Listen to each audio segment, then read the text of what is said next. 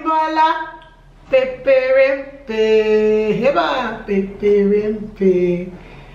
Sugar, sugar. Sugar, sugar. Hi guys, what's up? It's the end of 2020. It's the 31st of December and I'm at my mom's, my parents' house. And I said, you know what, Banker is here. Let me bully her into doing a super spicy noodles challenge. Guys, it's hot. Typical Lagos, there's no lights. So listen, people next door are building something. It's a noisy environment, but we're gonna try and speak up. So we're gonna be eating this super spicy noodle stuffs. And we're gonna be talking about secondary school experience because a lot has been going on.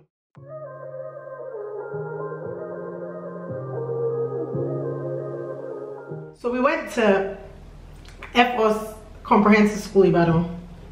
It's a boarding house and um, Are we ready to start? yes nah, we dey going. Guys, they said this is super spicy, the international one. Mm, I just say no with spicy nothing.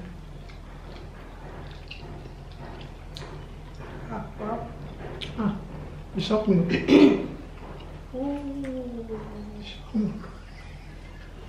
Yay! Where do you buy this thing from? Where did they say this? I shocked me. It's quite hot. Okay, mine's red. oh, wow. I'm gonna think when your head do not start scratching you when something is very hot. Guys, it's hot. So I went to Air Force Comprehensive School. I was banker senior.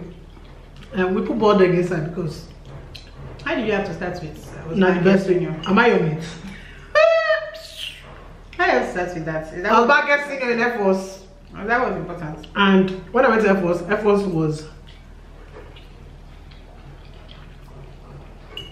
it's one of my best experiences ever because it shaped me.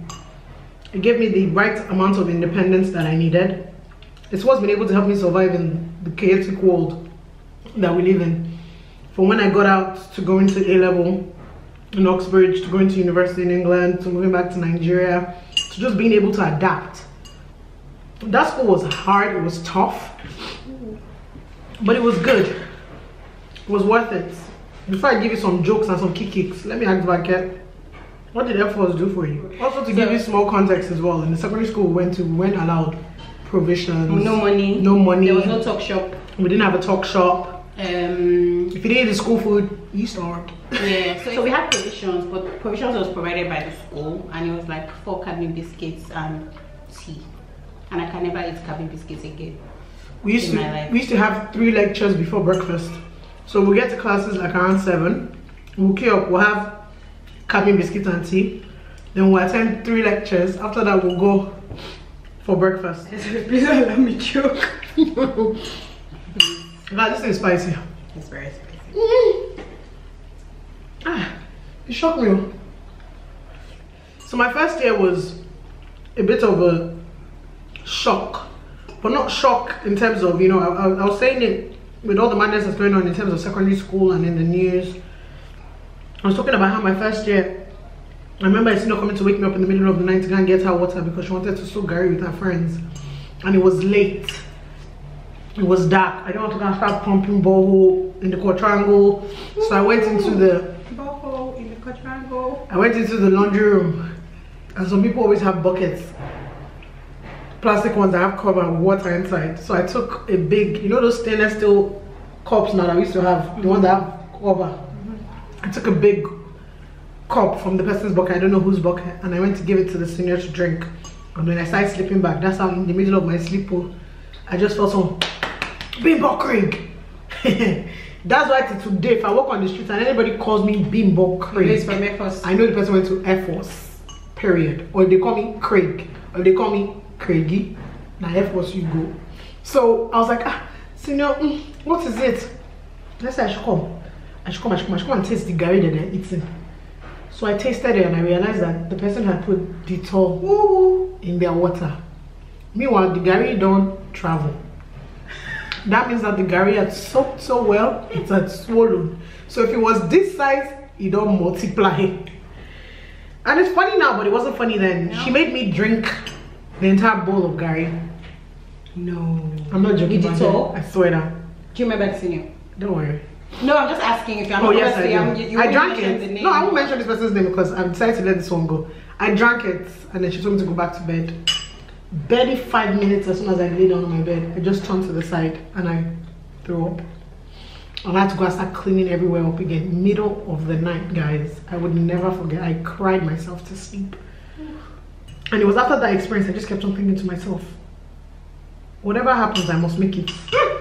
And when I mean make it, I mean I mm-hmm. must be a senior. Oh, okay. I must be a popular senior. As a junior, I'm not going to suffer. Then I was thinking it was the end of it, and then comes Shawanuga. I don't care, this one I'm going to call her name. Wow.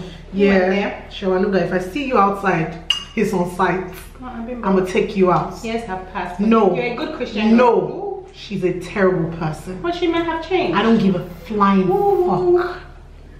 You were a bed wetter, and you make juniors constantly wash your bed sheets. I've never felt more humiliated than that time in my life, and I will never forget it. You see, the rest of the people I won't call their names, but you, you tormented me. For every time you called me to wash your bed sheets, that stank of your urine, you're a terrible person. I don't care whether it's been 20 years, I don't care whether it's been 25 years.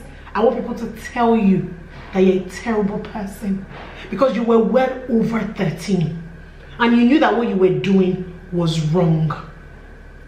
You knew. What class were you here? I was a junior, I was in like JS1 about to enter And she was JS2. where? She was in like SS2. Oh, okay. You knew what you were doing. Yes, you knew what you were doing was terrible. For you to have chosen not to wash it yourself, you were vile. I heard you're in America somewhere. I don't know what you're doing, but I'm telling you, if I see you, it's on sight. And in the spirit of disclosure, there was one of your friends, I will not mention her name. Mention her No, name. don't need. There was, one, was one of our friends, like, I remember when, I can't remember, like, I had this sports wears that, um, I know doing um, during inter-house sports, I think, I, yeah, I was in probably like JS1 or JS2. I think By the way, was- back then I were in the same house. my dad, I think it was my dad that bought me that top and everything. It was a yellow top and I think it had like Supergirl on it. It was yellow. Mm-hmm. So I will leave you to figure because it was yellow. And that's about it. So now And then- that it was in Alpha House. and then, like during um so during like inter-house sports you know would have to go out for like sporting um different things so even if you're not participating in a sport like you still go and support and wear like Mm-hmm. the color of your house like and support I mean, obviously if you're like a senior and this senior well she's a senior and i think she was playing like basketball handball like long and short of the story let's just let me just assume or let's just say that my top became her top. Imagine, no, you don't want to take something from me. She told somebody to call me. So I left my own house. Obviously, she was in my house. Left my own house. But I wanted the to yellow top. It means that she was in Alpha House. Green was Hercules, And blue was was doing Donia, Hercules. red was Jaguar, And blue was and yellow was Alpha. sent a junior to call me, left my dorm, went all the way to her dorm. She's like, oh, you have a top. Because obviously I must have worn it one day and you've seen me. And well, for you for you to be a senior and to want to wear a junior top, you figure that, okay, this junior is not, not dead say right? So you can wear That that was top. my friend. Anyway, so... Yeah, friends what? And I can think of. okay let's leave the matter anyway so someone's me she's like oh um you have a yellow top that has um this girl's lens oh please can you have it make sure it's washed and can you send it to me? I need it to wear for my game because i'm playing game and you know then now. You can't. Yes senior. That's it. and that was it too like The literally that was it. Like you couldn't. I think one time I summoned the courage to go and ask her and be like, oh, senior XYZ, please Please can I have my top? She's like, no, I'm still using it. It's like, okay, I can't lie to sorry. you, Some seniors were very And then yeah, but I think for the most part though, I think I didn't I didn't have it like and then it just in just in case some Air Force people watch this, like I didn't I, had- didn't have it bad Neither did I. because- And I tried to make sure I was a good senior. I tried. I've, I've always been very disciplined, and I think you know the person who raised us. So I think that's why. But I don't think I was a terrible senior. I think I was a very stern. And I, I remember punishing a few people, but not punishments that Yeah. Will make you feel less of a human being. I told Yeah. some people to crawl. A lot of people I used to give them punishment to come and wash dishes on Saturday afternoon. That's the worst time Eba pots. ever. Eba plates. Because you have been under the hot sun inside stainless steel. The guy would have Yeah. dried. You have to soak all of them. Mm-hmm. So those are kind of punishments I used to give because I became the animal perfect. But apart from that, this one chocolate. It's But yeah, I, yeah. I mean, I think I think my own journey was a bit. I mean, obviously, I think I don't know. Some some sometimes some seniors just like you, and that's how it is. Mm-hmm. And and I had a lot of school mothers, a lot across all the years, and I think same as well. Like I was friends with a lot of seniors. Mm-hmm. So like shout out to Miresta, my first school mother, amazing. Like we were still cool till was my school tomorrow. She was. Ah, she was awesome, and it's obviously when you're someone's school mother, you you naturally do her things. Obviously, sometimes they're punishing everybody. She'll save you from like your, your life is just a little. If it's not little, life. But do you know I realized something It's that I just that- realized now? Secondary school actually did shape my future as well in relation to the kind of friends that I have. So I kept on noticing that from when I got to secondary school, all my friends have always been older than me. yeah. And I couldn't understand why, but I realized why now. In secondary school, like I said, after JS1, I realized I didn't want to suffer. So I became very chummy with a lot of seniors and it followed through. Because even after I've left secondary school, I barely speak to people from my set. I just don't know why. I'm not a snob. Let me tell you what it is. I don't know why. Because we came out of school, there was a group, it was set, I was in it. Next thing they took me out. Next thing I'm hearing they're talking about me the They group. took you out or you left? No, they took me out. Confess. No, I didn't leave. There was no WhatsApp now. Okay. Exactly. the reason I'm saying that is because WhatsApp groups, I Z, don't have time. But there was no WhatsApp group. Mm-hmm. So they just took me out of it. I didn't know why. The next thing I hear that they're talking about me, and I don't understand why. But they, it wasn't like they were saying anything vile or bad. I just couldn't understand why I wasn't in the group. And after a while, I was just like, but to be fair, when I left, I made more international, intentional connections with my seniors. So like Baby, Jade, Lani, like half the people that I still talk to today. If I go to America, the first Mm. five people I call are Air Force people, and they were my seniors. And even just moving on now, Yeah. it's now I start making friends that are my mates, but I've always had friends that have always been older than me. One time I came back from sports or something like that, and then I had Tosi made me a jersey then a Manchester United jersey that had Bank at the back. Maybe I had like perfume, I had this, I had that. Do you know I came back from afternoon prep Yeah, that. I went into my wardrobe, everything gone. that fapped it. A jersey with my name on at the Are you back. Banker? Yes, I was. Oh, she died. I was. They don't Which is steal. Like, be- like Kike was so annoyed. Did Kike, you remember Kike Oyeri? Oh, yeah, She yeah. was so Did annoyed. Like she, Did you padlock your locker? yes, people they jacked jacked it. locker Will I send my Yes. children there now? I don't know. That's a big question mark. That's a Would good you? question. It's a good way to. What do you think? Would you I definitely would want to send my kids to boarding house. But maybe not Air Force. Maybe not Air Force. Because Air Force was honest. tough. It was, but it's not. It's not the same anymore. Yeah. So, for example, just one to just three. We had to cut her hair. By the time got SS when you grew it out, it's not the same anymore. They don't cut their hair anymore. Girls wear trousers. Girls wear trousers now. They don't wear skirts. They allow provisions. They allow now. provisions. They allow money. So during that time, they didn't used to let us I was- cook food even Look, on. I was telling day. the other day, I was like, you guys were so horrible because Bimbo's mom was on PTA, my dad was on PTA as like well. our parents were. on PTA. I was like, you people were horrible. Like, why would you make such decisions and such rules? That that's horrible. Let me tell you why. Because they realized that when they used to bring cooked food for kids on visiting day, people will carry the coolers and keep it overnight. They will not eat it the next day, and it would have spoiled. So sick bay was always full of people with food poisoning. Like, this thing was So that was a term. One word for your secondary school experience, Banker.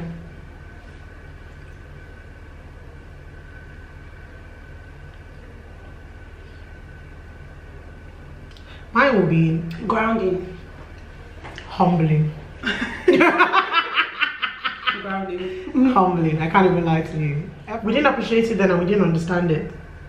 But coming out of it now, I realize that you know the importance of us all not being allowed provisions and not being allowed money and stuff made all of us feel like we're equal. Yeah. It was when we left off that we Then realized that some that, oh, people this, this person didn't even have it. This person's a millionaire. Oh my god, these people are barracks. Yeah, All these people are because everybody just integrated and just Absolutely. merged together. The only time when you even have an inkling as to even had money was maybe summer holidays. When most of us would travel and we'll come back with like mono strap, Nike this. But apart from that, you had no clue. Mm-hmm. It was the same uniform, it was the same khaki, mm-hmm. it was the same socks, it was mat sets, it was the same table, it was the same food, mm-hmm. it was the same provision. and so it was very very very grounding and humbling. All right guys thank you guys so much and hope you enjoyed this video. Give it a thumbs up. Please make sure you share please make sure you like Bye. please make sure you subscribe to my channel and i will see you guys In the new year. in the new year because this video not gonna go up before the new year. That's some period. That's some periana all right guys. Thanks so much. Peace out. So much love. Kisses. Bye. Stop it. Is this one drunk?